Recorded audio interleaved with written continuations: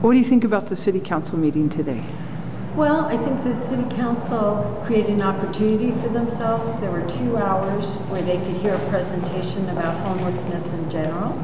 And um, that was valuable. They usually don't have that much time to look at an issue. Um, there was discussion of the faith community, individual congregations actually, stepping up to do some sheltering of uh, single individuals, opening up their church halls and letting people sleep there.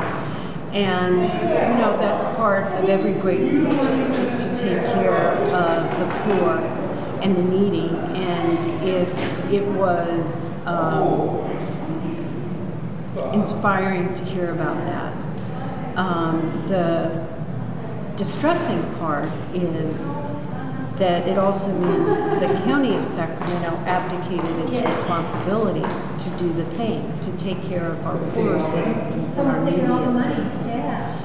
Um, and that is a decision that I don't think any of us should be comfortable with. Um, there was discussion about uh, safe ground. And again, it was good to hear from each council person um, what they thought. Uh, Councilmember Waters and Councilmember Hammond remained silent. I don't understand why they wouldn't comment. Um, but the other council members talked about um, what they thought about safe ground, what their reservations are, what the considerations are. Um, and, you know, that's useful information. Um, issues like siting and uh, what the program are are very important. Um, and Safe Ground has, has developed um, siting criteria, and we do know what the program will be like. So it was good to know that we can answer those concerns.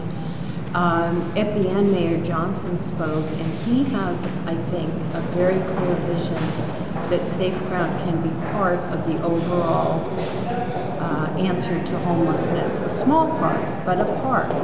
Um, and we see, you know, our motto is safe ground, homeward bound. And we really think if people are given a legal outdoor community where they can be safe and look after each other and take care of their business, that Safe Ground will be a path for people out of homelessness and into more traditional housing.